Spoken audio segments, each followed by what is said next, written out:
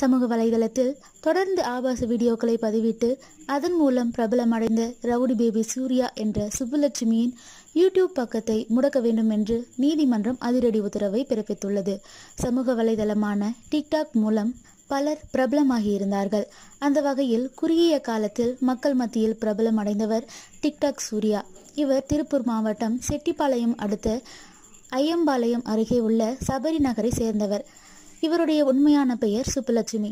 சமூக வலைதளமான டிக்டாக்கில் இவர் தன்னுடைய பெயரை சூர்யா என்று வைத்துக்கொண்டார் இவர் டிக்டாக்கில் இருந்தபோது இவர் மீது பலரும் பாலியல் குற்றச்சாட்டுகளை கூட வைத்திருந்தார்கள்.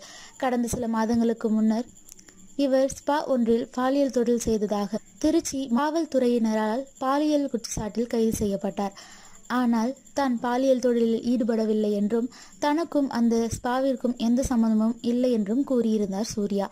இருப்பினும் டிக்டாக் தடை செய்யப்பட்ட பின்னர் இவர் யூடியூபில் வீடியோவை பதிவிட்டு வருகிறார். இப்படி ஒரு நிலையில் யூடியூபில் இவர் ஆபாசமாக பேசி வீடியோ பதிவிட்டு வருவதாக சமீபத்தில் புகார் எழுந்ததை தொடர்ந்து திருப்பூர் முதன்மை அமர்வு நீதிபதி ரவுடி பேபி சூர்யா மீது நடவடிக்கை எடுக்க வேண்டும்.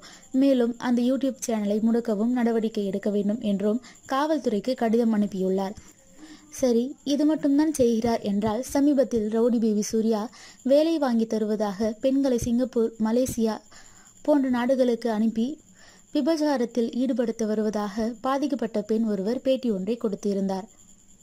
இப்படி ஒரு நிலையில் ரவுடி பேபி சூர்யாவைப் போல டிக்டாக்கில் ஆபாச வீடியோக்களை பதிவிட்டு பிரபலமடைந்த ரவுடி பேபி சூர்யா சிங்கப்பூரில் பாலியல் தொழில் செய்வதற்கு அழைப்பு விடுக்கும் ஆடியோ ஒன்று சமூக வலைதளத்தில் வெளியாகி இருக்கிறது அந்த ஆடியோவில் இலக்கியா பாலியல் தொழிலுக்கு சிங்கப்பூர் அழைத்து செல்வதாக கூறும் ரவுடி பேபி சூர்யா இரண்டு மாதத்திற்கு பல லட்சங்கள் கிடைக்கும் என்றும் கூறுகிறார்.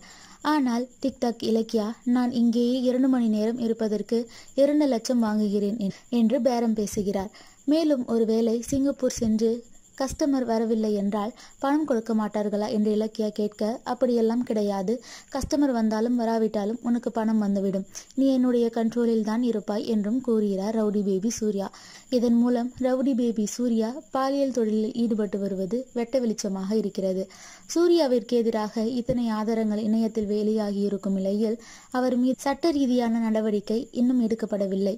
அதேபோல நீதிமன்றம் சூர்யாவின் யூடியூப் பக்கத்தை முடக்க உத்தரவிட்ட பிறகும் இன்னமும் அவரது யூடியூப் சேனல் இயங்கிக் கொண்டுதான் வருகிறது.